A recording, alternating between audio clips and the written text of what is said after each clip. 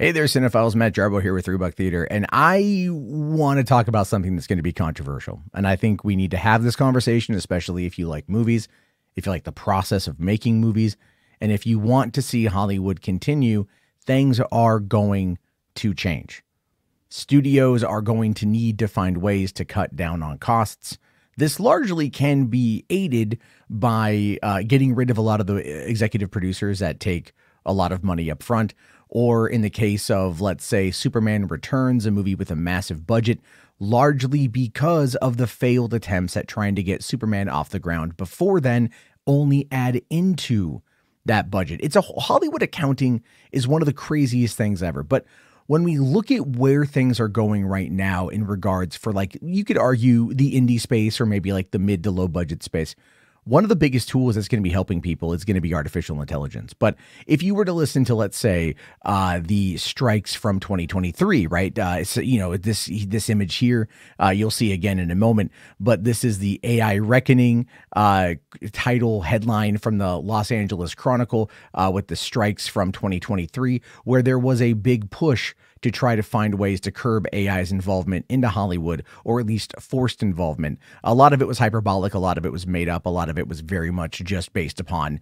rumors on the internet especially with SAG, uh, only for SAG to then go and sign deals with voice cloning companies, right? So it's kind of funny uh, how they're so anti AI until they aren't, right? Depending on the deals that can be made.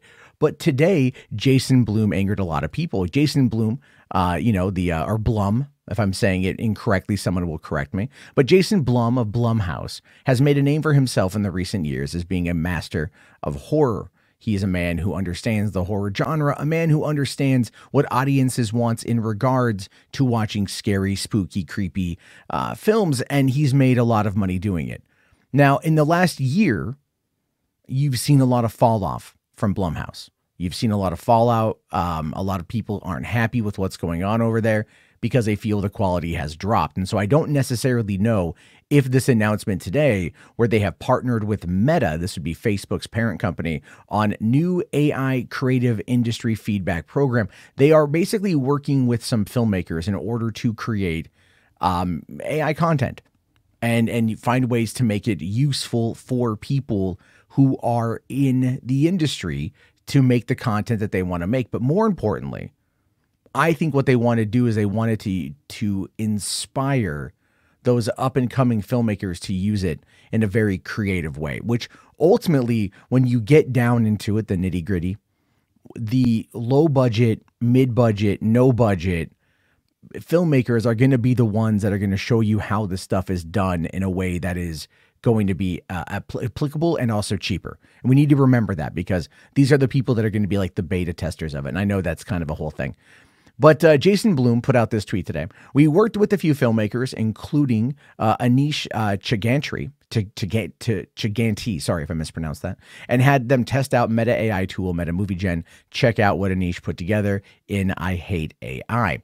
Now, I want to, before I show you guys this clip, uh, look at this guy here, Nick Roberts. Dude, why? I hope Art the Clown and his bag of practical effects and box office dominance finds a little Aneesh and shows him how to make a movie. It sounds kind of, um, kind of threatening, to be honest with you. There's been a lot of that. A lot of people who are very upset with Blum and them teaming up with Meta and exploring this new technology. But if you haven't been paying attention to what's coming out of the AI video space, if you've had your head in the sand and haven't really been wanting to have that discussion, well, let's talk about that because we need to talk about that. And I'm going to show you guys the video here. It's three minutes. It's an interesting little short, but it gives you an idea of just what they are trying to accomplish. I hate AI. From everything that I have been told, AI is going to hurt my industry. How could I possibly tell a story about why AI was good for us when all I could see from where I'm standing was bad? So I wrote my dad.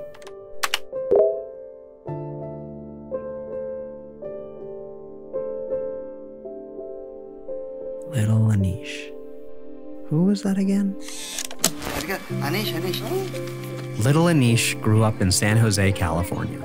His parents didn't have a lot of money, but they did have a camera.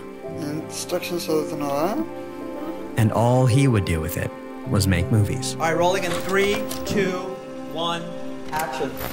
This is a movie I made when I was 10. It's super cringe now, but I remember when I made it, I wanted it to be set in Manhattan.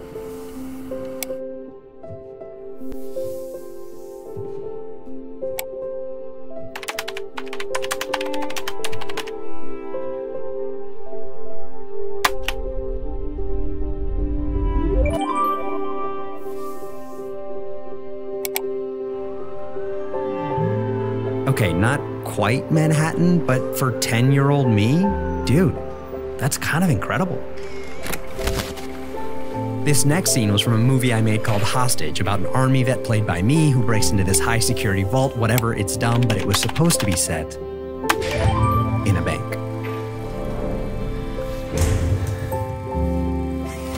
And this scene with my little brother in the mask was supposed to be an alien, but all we had was an old Halloween costume.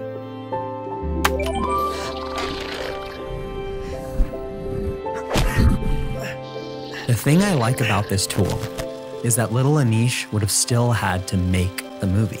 Is the camera recording? He'd still have had to write a story, plan the shots, I think over get the cameras, force his brother to act take hmm. after take after take. actor. No, I'm not an actor.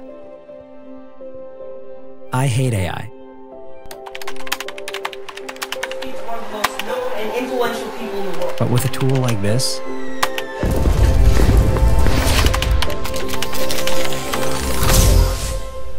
I don't know.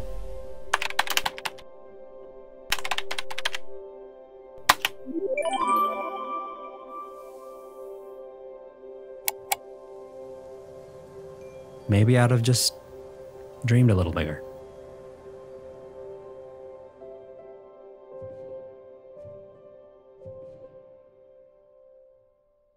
Now, it's a sweet little video. Little Lanesh talking about growing up in San Jose, his parents not having a lot of money, but they had a video camera and he wanted to use it to make movies, giving his forcing his brother and his friends to be in his little films. And how often are those stories championed by filmmakers? You ever seen the show The Goldbergs, right? Ran for 10 seasons on ABC. That whole show is about Adam F. Goldberg and his love of movies and his love of everything pop culture and how it influenced him in the 1980s. And that's what the entire show is about. And uh, oftentimes they showed his own home movies from when he was a kid, stuff he worked on with his friends and his family. It is a point uh, or, or a term of endearment in many ways for filmmakers to show off their earlier works and how, according to Aneesh here, uh, how cringe they are. Your earlier stuff is cringe. I look back at some of my stuff from college and I'm like, oh dear God, what was I thinking? This is terrible. Stuff did not age well. It aged horribly.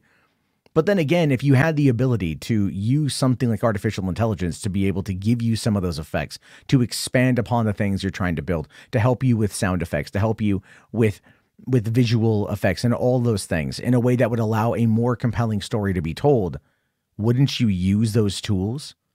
And that's ultimately what they're getting at here. This is ultimately what Bloomhouse or Blumhouse, whatever, uh, and everybody at Meta are trying to get at. Same with Sora, Kling AI, and, and, uh, and Runway, you know, all those guys.